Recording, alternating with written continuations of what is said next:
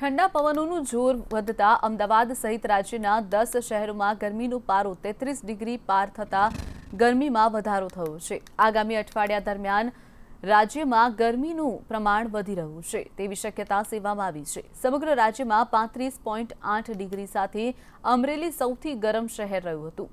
રવિવારે અમદાવાદમાં ઠંડા પવનનું જોર વધતા ગરમીનો પારો ચોત્રીસ અને લઘુત્તમ તાપમાન સોળ ડિગ્રી નોંધાયું હતું. જેને કારણે વહેલી સવારથી શહેરમાં ગરમીનું પ્રમાણ વધ્યું છે.